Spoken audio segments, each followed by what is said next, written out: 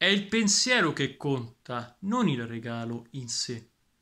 Quante volte sentiamo dire da chi eventualmente riceve un regalo questa frase? Io penso tante, tante volte, molti esseri umani, ma non tutti, per farsi vedere dei finti perbenisti, dicono ma non è pensiero, non è che conta il regalo, è il pensiero che conta, basta un pensiero, basta una piccola cosa. Ecco, sappiate che in realtà questa frase occulta, cela, una realtà che di fatto, de facto, non vuole essere vista. E qual è? Quella secondo cui, dovendo rappresentarlo in maniera diretta, il pensiero comune è il seguente ma guarda che cazzo mi hai regalato, mi hai fatto un regalo di merda, mi fa cagare, preferivo un bel regalo grosso, mi devo accontentare di questa merda secca. Punto.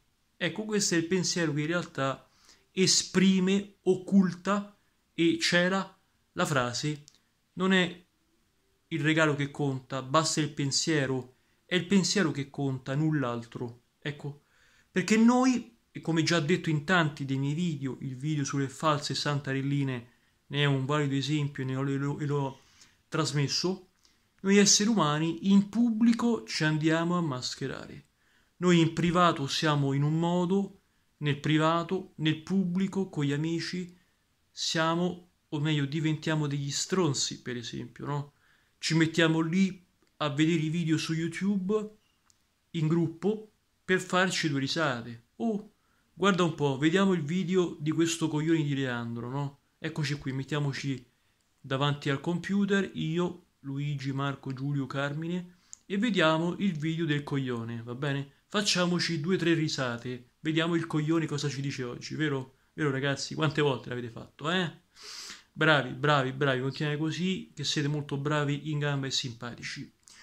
Ora, il fatto è questo, è che... Mh, mm, questo comportamento già vi fa capire che noi siamo diversi nel privato e nel pubblico, nel pubblico e nel privato, ok?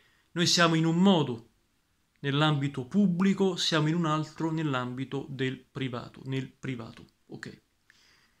Ma oltre a tutto questo c'è da dire, c'è da riconoscere una cosa molto molto semplice e Qual è questa cosa? Che noi abbiamo delle maschere che decidiamo di andare ad assumere. Questo che significa? Che come il buon Pirandello ci insegna nelle sue straordinarie e leggendarie opere, noi non siamo mai un'unica persona, un'unica entità, ma noi siamo costruiti per maschere. Ci mettiamo, ci poniamo dei ruoli diversi che andiamo letteralmente ad incarnare, ok? Questo ovviamente è triste, questo ovviamente è un dato di fatto negativo perché noi in teoria e solo in teoria dovremmo essere sempre noi stessi, con i nostri pregi, con i nostri difetti, con quel qualcosa che non va e quel qualcosa che va e che funziona. Invece no, perché nella società di oggi dobbiamo essere in un modo con gli altri, educati, rispettosi, poi però quando siamo con gli amici facciamo gli stronzi, facciamo i figli di puttana, facciamo i bulli, facciamo gli stronzi, i testi di cazzo. Esempio, guardiamo quello che fa il testa di cazzo Leandro oggi. Che chissà che video avrà fatto quel coglione, vero? Mettiamoci ad un tavolo a vederlo, va bene? Ecco, questo è lo stesso che sto dicendo, ecco. Quindi questo vi fa capire chi siete, chi siamo e chi saremo. Ecco, va bene? Perfetto. Ora, io vado avanti nei miei esami e dico una cosa molto semplice. Ed è questa. Che la frase stessa, basta il pensiero, è il pensiero che conta, ci fa capire che noi preferiamo apparire come persone che siamo attaccate al pensiero e non al regalo, quando in realtà quasi tutti, la maggior parte degli esseri umani, sono governati da voglia di avere il bene materiale. Sono attratti dai soldi, dalla pecunia. Anche sono attratto dai soldi, io non lo nascondo, non lo occulto, non, non occulto questa mia, chiamiamola caratteristica, va bene? Però molti preferiscono non volerla dire, non volerlo ammettere. Io lo ammetto, la maggior parte degli esseri umani invece no. No, a me non mi interessa il regalo. Ma guarda, a me non mi, non, non, non mi devi fare nemmeno i regali, non mi devi fare. Perché mi hai fatto i regali? Non lo voglio. Perché me l'hai fatto? Poi va bene, lo va a prendere subito in mano, se lo tiene i santi benedetti. Ecco, questo vi fa capire che cosa? Che c'è un'ipocrisia di fondo che de, di fatto, de facto c'è. Ok? L'ipocrisia umana. L'ipocrisia umana che c'è, c'è stata e sempre ci sarà.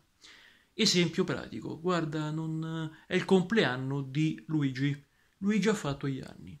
Tanti auguri Luigi, io Leandro ti ho fatto questo regalo. Luigi mi potrebbe dire, no guarda Leandro, non, non mi dovevi fare il regalo, guarda, proprio hai fatto male, io non volevo regalo oggi. Non me lo dovevi nemmeno fare.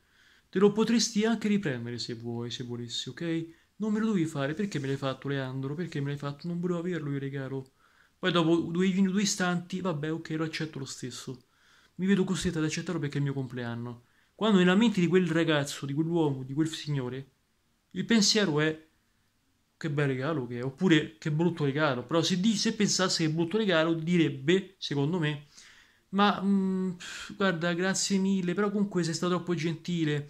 Ma è il pensiero che conta, non tanto il regalo. Quindi potevi, potevi anche non farmelo, dai, su via, su via Leandro, su via, dai, su via oppure se gli piace quel regalo farà finta di essere disinteressato, no? Guarda, non, guarda Leandro, proprio non dovevi farlo, non mi interessa, non, non mi piace, non, non, è il mio tipo, non è il mio genere, guarda, proprio non mi interessa, guarda, proprio non me lo tieni lontano, non lo voglio nemmeno avere vicino questo regalo di merda, questo regalo qua, non lo può vedere. Invece magari lui pensa in quel suo, mamma che bel regalo, lo vorrei subito prendere, infatti dopo qualche istante lo prende, ecco.